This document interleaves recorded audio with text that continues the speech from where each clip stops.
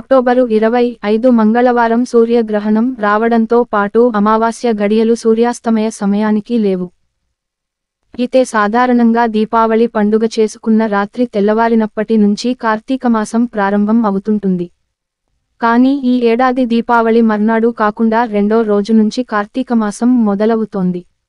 సూర్యోదయానికి పాడ్యమి ఉన్న తిథే నెల ప్రారంభానికి సూచన. ఎందుకంటే కార్తీక స్నానాలు చేసేది బ్రహ్మముహూర్తంలోనే కదా. అందుకే దీపావళి మర్నాడు అంటే మంగళవారం సూర్యోదయానికి అమావాస్య ఉంది.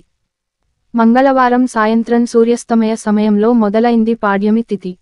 అందుకే అక్టోబరు ఇరవై ఆరు బుధవారం నుంచి కార్తీక మాసం మొదలవుతుంది. నా కార్తీక నమో మాసహన దేవం కేశవాత్పరం. నచవేద సమం శాస్త్రం న తీర్థం గంగాయాస్తమం అని స్కంద పురాణంలో చెప్పారు. అంటే కార్తీక మాసానికి సమానమైన మాసము లేదు. శ్రీ మహావిష్ణువుకు సమానమైన దేవుడు లేడు. వేదముతో సమానమైన శాస్త్రము లేదు గంగతో సమానమైన తీర్థము లేదు. అని అర్థం.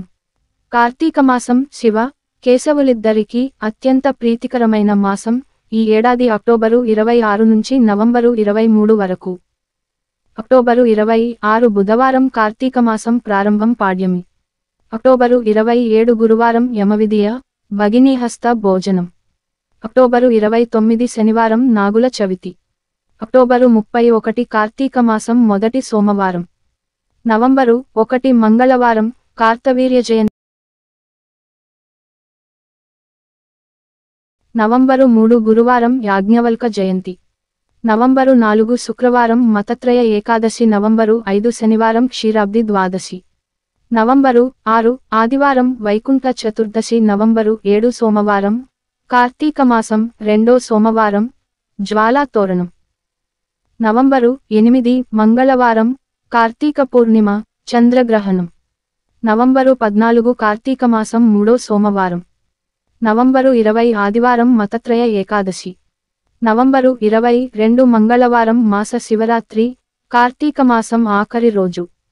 నవంబరు ఇరవై నాలుగు గురువారం పోలీస్ వర్గం కార్తీక మాసం నెల రోజులు అత్యంత నియమనిష్టలతో ఉంటారు.